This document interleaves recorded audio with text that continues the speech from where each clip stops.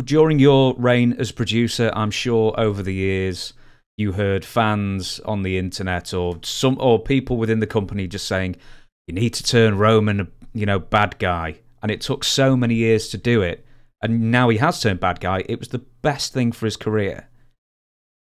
Uh, who was like the biggest resistor of turning him uh, heel earlier on? Um, in WWE, there's a there's a saying backstage that uh, there's an audience of one. Okay, so who is the biggest resistor? I, I don't know. Who's the biggest resistor to keeping him face? Doesn't matter. He was kept face. Why? That's what Vince wanted to do. That's what Vince thought was best, you know? And um, you know, people didn't know that Oos had uh, leukemia, and that's what uh, got him out of football. People didn't know that. People didn't know he was a cancer survivor, and so he had the second bout. And I remember we were struggling, you know, trying to find it, trying to get him over. I'd ask Hunter, you know, like we'd be in production meetings. I remember texting Hunter from two tables back to the front table right there, just texting while the meeting's going on. Like, um, you know, is it time to mention uh, the illness? Because it'd be like invariably it'd be around like uh, what was it? It was October. It was the uh, breast cancer where we had the uh, pink ropes mm-hmm. and all that. Yeah, the Susan so G. Komen thing.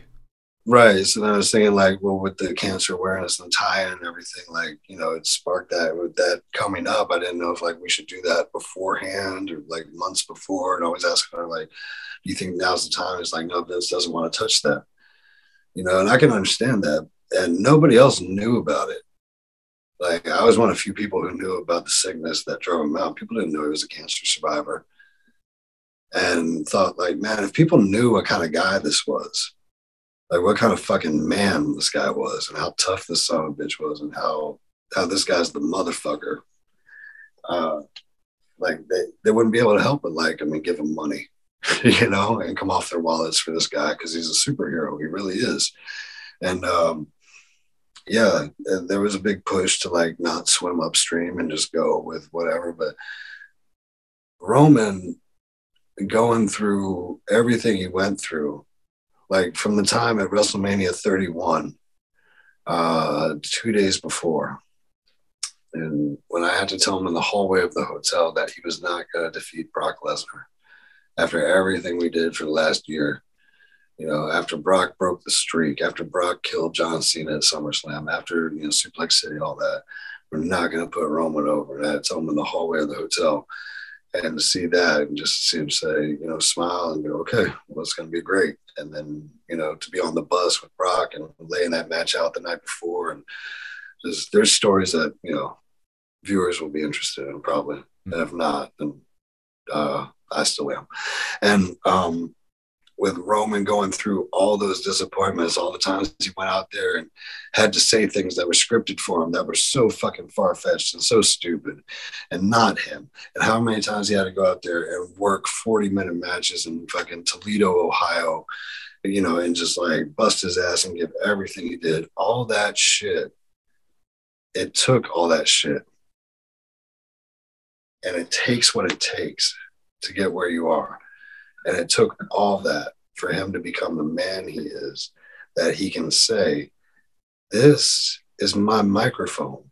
This is my camera. Don't you understand that this is my set that I walk out of to make me look good? And then the announcers, they're for me and they're going to talk about me and how good I look up on that set to all the people who are at home watching their TVs. And when we're watching their TVs, they're going to see this backdrop that says WrestleMania and they're going to see me in front of it with a microphone because this is all for me. And that WrestleMania sign, I am WrestleMania. And he can mean all that shit and it comes across as very, very true and realistic. And he knows that, and he knows who he is, but he wouldn't be able to pull any of this off if he hadn't gone through all the shit he went through. And that's why he's special. And nobody's gone through what he's gone through, so nobody is who he is.